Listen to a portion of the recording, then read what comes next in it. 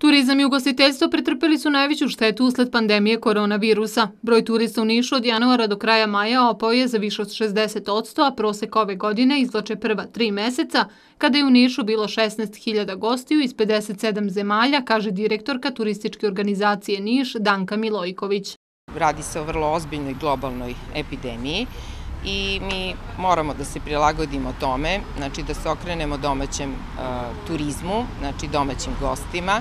Nama su vrlo interesantni gosti iz Vojvodine i centralne Srbije i uh, turistička organizacija grada Niša teži da u saradnji sa akterima u turizmu na području grada kao što su hotelijeri, ugostitelji i turističke agencije napravi programe koji će privući uh, naše ljude da provedu duže od dva dana znači, u Nišu, da obiđu znači, grad, da kroz pešačke turističke ture znači, obiđu okolinu. U narednom periodu akcena će biti stavljena Nišku tvrđavu. Turiste bi mogli da privuku i voucheri koje je obezbedila država.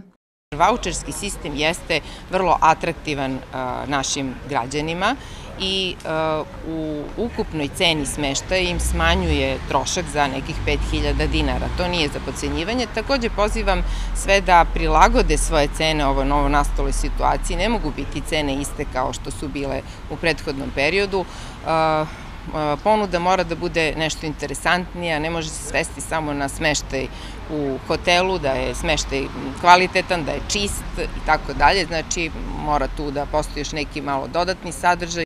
U Nišu je voucherski sistem uvelo 18 hotela i hostela, a u Niškoj banji 20.